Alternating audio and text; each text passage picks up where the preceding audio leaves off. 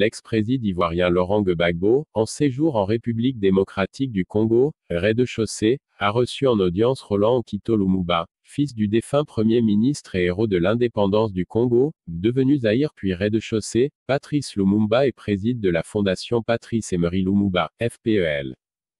Mardi 6 juillet 2021, le président Laurent Gbagbo qui séjourne à Kinshasa en rez-de-chaussée depuis le vendredi 2 juillet 2021, a reçu en audience privée dans ses quartiers Sem Roland Okito Lumumba, préside de la Fondation Patrice Emery Lumumba, FPEL, et ambassadeur à vie de la rez-de-chaussée.